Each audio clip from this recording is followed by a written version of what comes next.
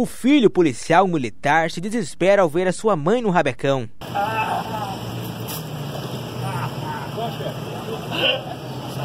Oh, mãe! Sai daí, mãe! Sai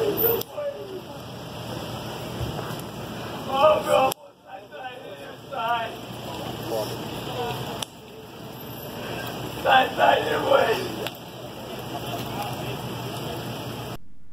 Cristina de Castro Ribeiro da Silva, 47 anos, morreu após se envolver em um acidente de trânsito na Avenida José Vieira Caula com a Rua Equador, bairro Embratel, em Porto Velho.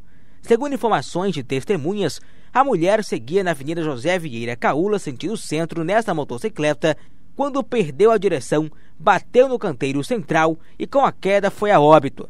Equipes da Polícia Militar, Perícia Técnica e do Instituto Médico Legal foram ao local para os trabalhos de praxe.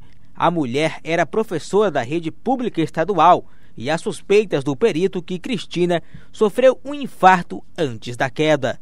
As imagens são de Osinaldo Alencar John Silva para o plantão de polícia, o retrato da realidade sem retoques.